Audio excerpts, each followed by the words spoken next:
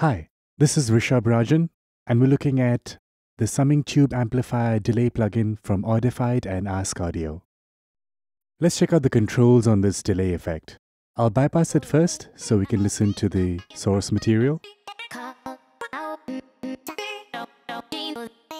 Okay, now let's listen to it with it turned on.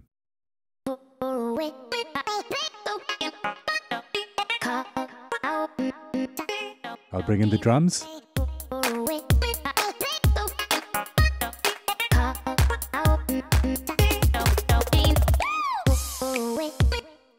So a pretty cool sounding delay effect. Now let's look at all the controls. Starting from the left over here, we have a level input, so you can amplify the incoming signal or tone it down if it's too loud.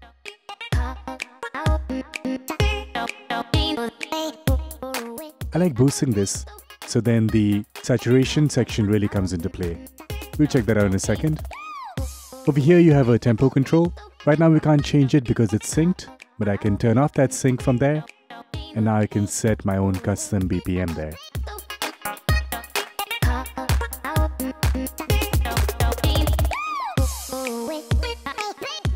I'll set it back to a sync. So now again the dial is not going to move. Another option for setting tempo is to tap in your tempo over here. So I'll get out of sync again and just tap. And you can see the BPM value is being updated. And of course you can fine tune that or even double click and enter in a specific BPM value. Alright, next is the decay control. So I can tone this down to a very very short value. Or go all the way up to the maximum, which is 20 seconds.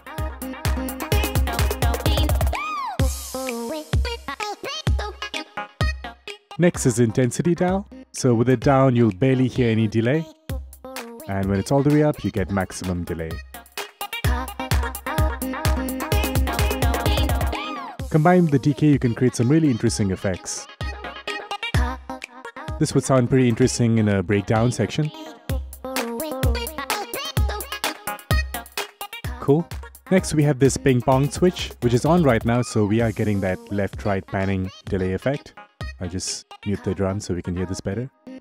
But if you turn it off, you get a standard panner to pan the delayed signal left or right.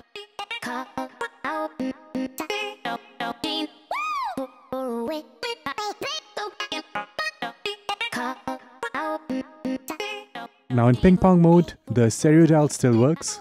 When it's all the way down, you limit your stereo width. And when it's all the way up, you get a really wide left-right panning of the delayed signal.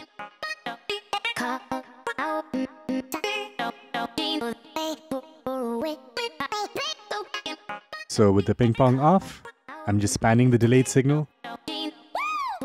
And with the ping pong on, I get that nice left and right panning You can command click any dial to reset it back to its default. Now next, there's a high pass filter and a low pass filter. So now they're both almost not filtering out the signal. But I can bring up that high pass filter cutoff. And now we're cutting all the lows. Or I can cut all the highs with the low pass filter. Get a more mellow delayed signal.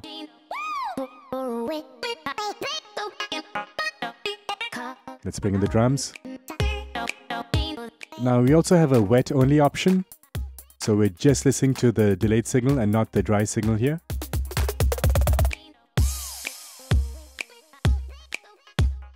Now you can really hear the effect of the filtering.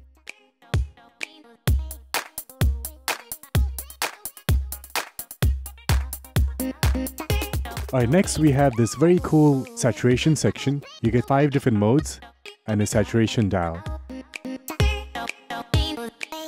Alright, let's disable the filtering and let's increase the level input here. If you don't drive the input, you're not really going to hear the saturation, so it almost acts like a real tube. There are five different modes, presence, vintage,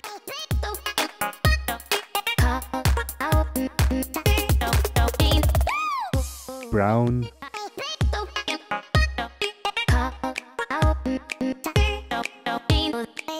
White.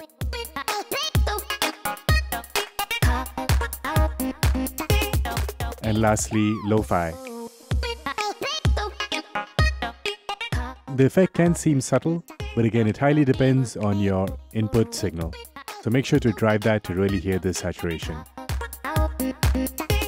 And then next you have control for the meters, so you can decide if you want to view the output or the input on the VU meters. There's a bypass switch and also a level output. So you can bring the level output all the way down and crank up the level input and really hear the saturation then. You can hear how that's distorting now.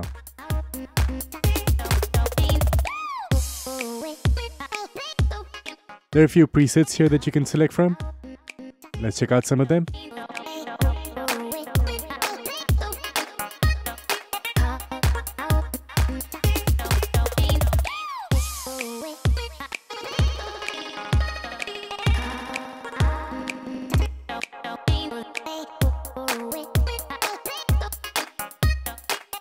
And of course, you can save your own preset.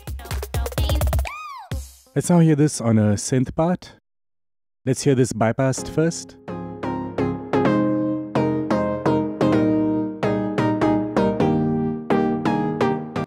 Okay, now let's turn it on.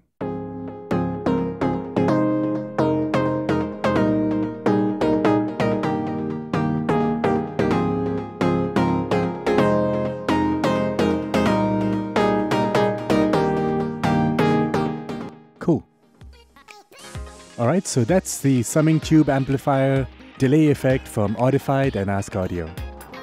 If you want to hear the result of this in the final track, just look for the track name Call Me Maybe by Code Mono on YouTube or SoundCloud and you should be able to find it. You can also get this brand new delay plugin for free from ask.audio right now.